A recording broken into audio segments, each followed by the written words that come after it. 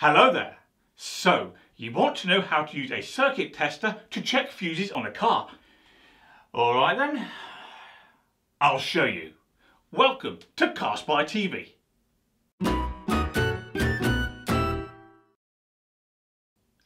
Right, let's have a closer look at my automotive circuit tester, which is also known as a test light, a test lamp, a car fuse tester, etc.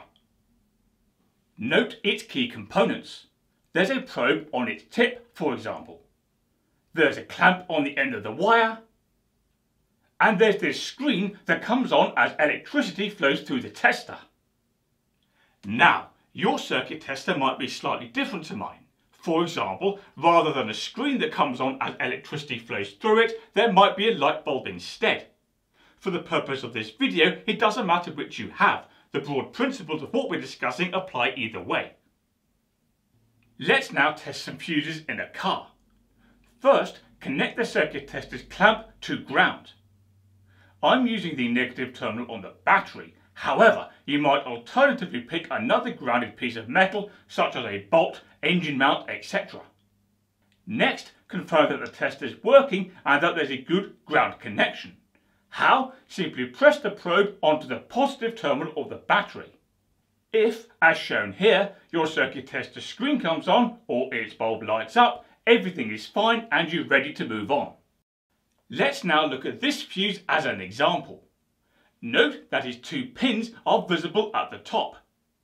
To check the fuse, move the probe between these pins.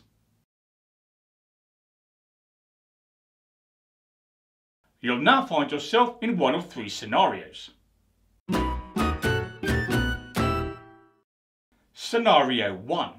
The circuit tester, as shown here, comes on when the probe touches either pin.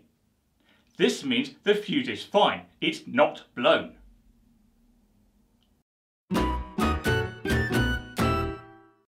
Scenario 2.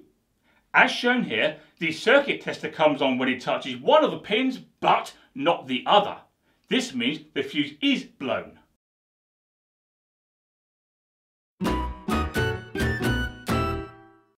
Scenario 3. As shown here, the circuit tester doesn't come on when it touches either of the pins. There's no life at all, which means power isn't getting to the fuse.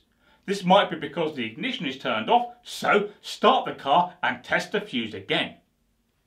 And that's it. That's how to check fuses on a car with an automotive circuit tester. Before you go, don't forget to subscribe to my channel as I have lots more useful videos coming up.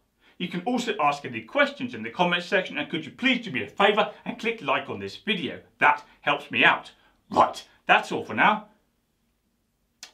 Does anything else need probing?